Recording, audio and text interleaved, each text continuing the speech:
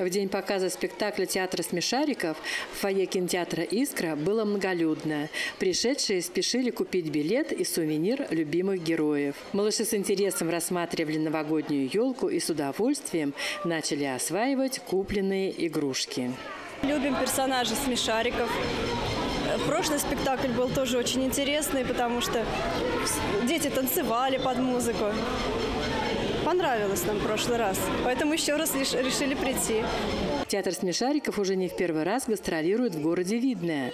Творческое сотрудничество режиссеров, артистов, художников, сценаристов, которое сформировалось в работе на телевизионной передаче «Домашние сказки» со смешариками, вышло за рамки телевизора.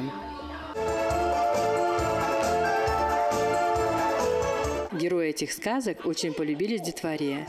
А увидеть их воочию на сцене, вживую с ними пообщаться, поделиться с мамой или бабушкой увиденным, волю посмеяться – это ли не таинство приобщения к миру театра?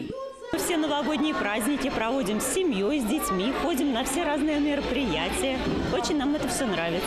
Театр смешариков в зимние каникулы показал спектакль с участием Деда Мороза, который учил незадачливых героев правильно ориентироваться в жизни.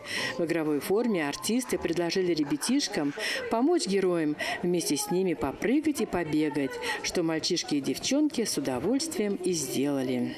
Мы в первый раз пришли на такое представление. Мне кажется, что, в общем-то, возраст ему подходит три годика. А то, что рядом с домом, спасибо огромное за такое представление. Хочется верить, что в кинотеатре «Искра» будут часто проходить спектакли и других детских театров.